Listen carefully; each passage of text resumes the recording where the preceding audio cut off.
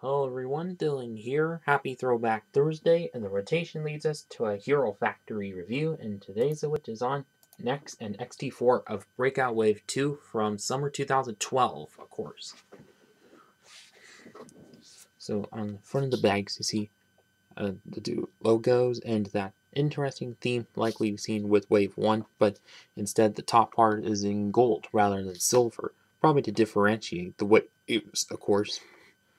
So you see picture of the sets that come within and probably behind some flamey warehouse, kind of similar to Ordeal of Fire or whatever.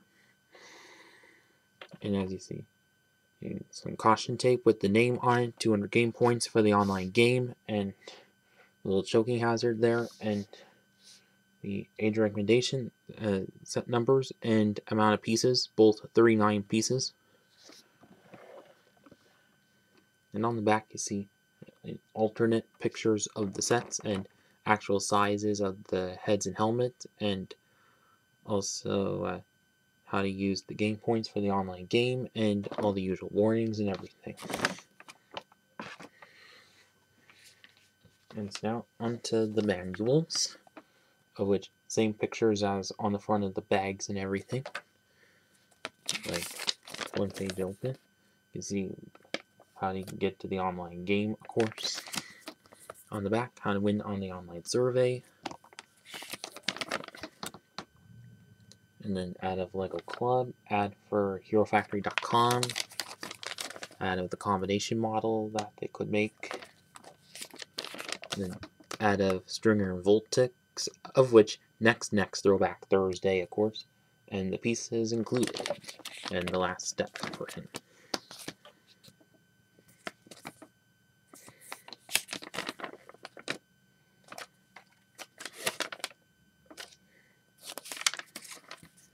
And then Vulcan Core Hunter, of course.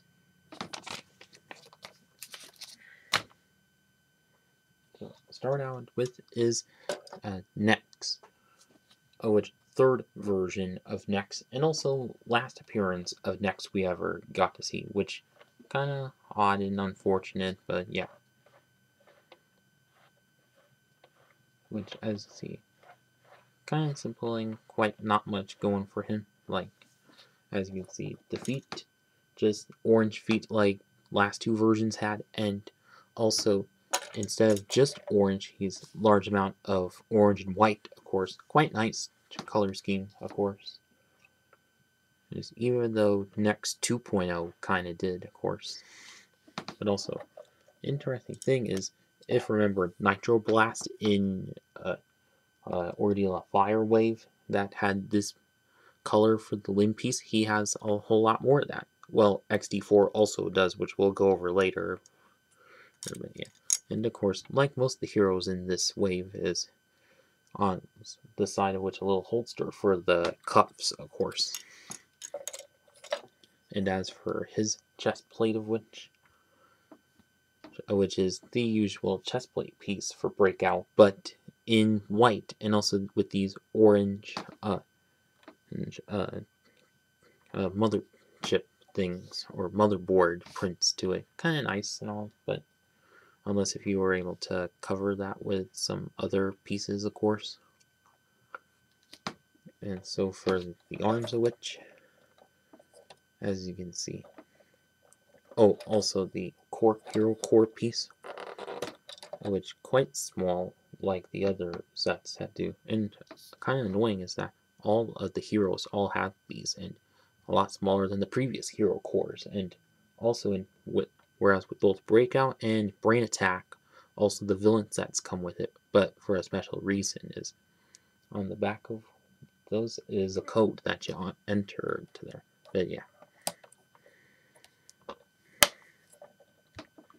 And so now to the arms kind which do have the kind of smaller, smaller limb pieces to them, of course, and also three length armor piece with an little minifigure harpoon there, probably to be an antenna of some kind.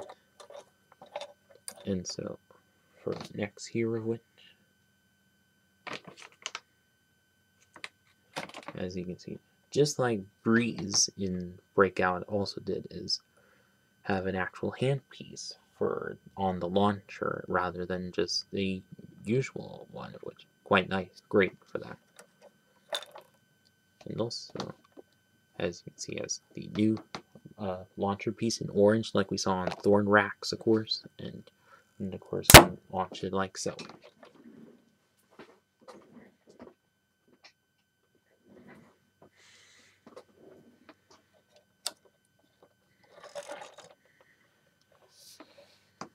And then as for the other armor, which kind of is the same, but also with this new add-on piece of which kind of similar to the spherical ones in the first wave of which, but instead it's just more squared out and whatnot.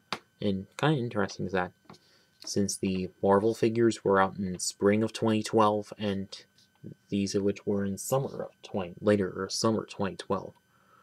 So they first appeared on Captain America in the wave, but then made over to this, and so a few others after, of course. But also nice to have here, of course, and also to get that engine piece like we've seen on the villains in the fire wave ordeal of fire of that. But interesting to still see it here, and as you see, has the two piece that Meltdown and Toxic Reaper both had, but also connected to his back, of course, and it's connected to that, and has the antenna representing intense laser or something. And as for the helmet, which it has the Eagletorian headpiece, but in trans green, just kind of same as with like Split Face and Rocket and Black Phantom had, but yeah. And as for this helmet piece, of which pretty much about quite similar to that of Nex 2.0's, but instead it's one single piece rather than two separate pieces kind of interesting and of course nice molding on top of it and single connection to it just like Rocket and Evo both had. And for the back of it has the still has the narrower torso piece just like Nex 2.0 had but although should have the extra ball joint torso bit and, and use that on Breeze but whatever. Also not only back coverage piece or back coverage probably for the sake of the two but, but although I think it could have worked with the two or I mean really would have but I'm sure you could figure that out to yourself but yeah. And I guess that is it with Nex. And now on to XT4 oh which quite interesting for a smaller villain set of this wave of course and as you can see, has the forearm thing, just like we had with Waspix in the year prior, of course. And whereas for his legs, which you get a whole lot of these upper limb pieces in light gray, right? which good for mocking, of course, and also do get the other ones also in that color as well, and also the size 6 armor pieces in black like kind of like we saw on previous sets, and also get the foot pieces from the Ben 10 sets in yellow, uh, which also nice to have.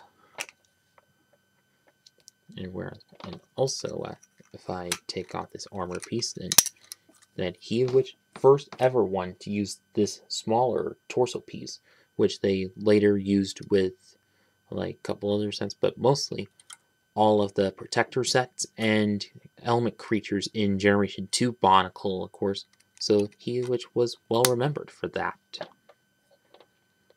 And so for the arms of which, that two of which are kind of the same, but where two of which have these Savage Planet blades on the tops, of course.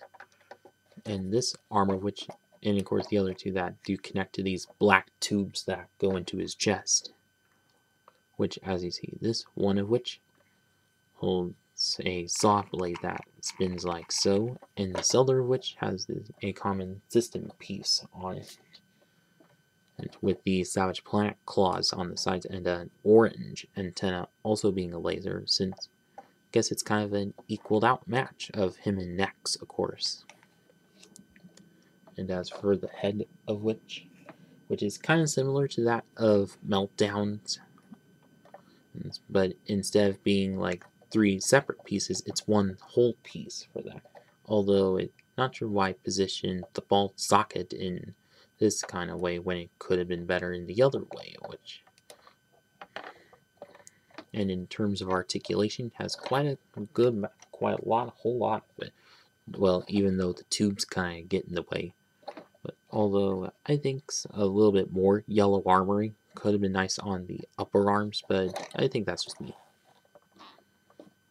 and or maybe also another armor yellow armor piece on the back also could have worked out uh, but whatever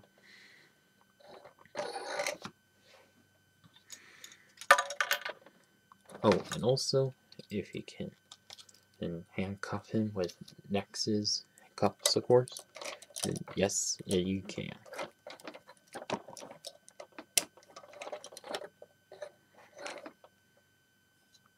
Now, next is cot and coffin. him. And so, for the final verdict. So now, on to the final verdict.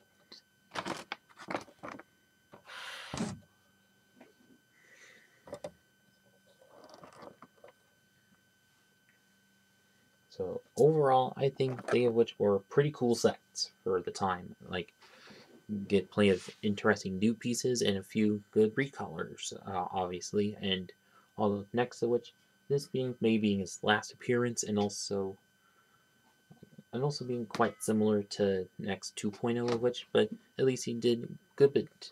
At least he's a good little bit different than the previous version. XT4 of which, quite interesting new design to him, like we have ever seen in that.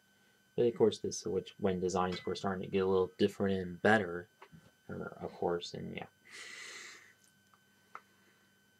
But although I'm sure you can, some of you mockists can figure out how to make uh, break, brain attack and invasion from below versions of Nex and Stringer too, and yeah.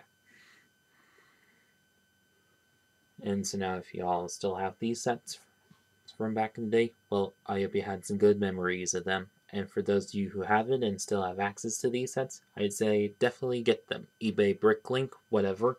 And that is it for this video. Please like, comment, share, and subscribe. Thanks for watching.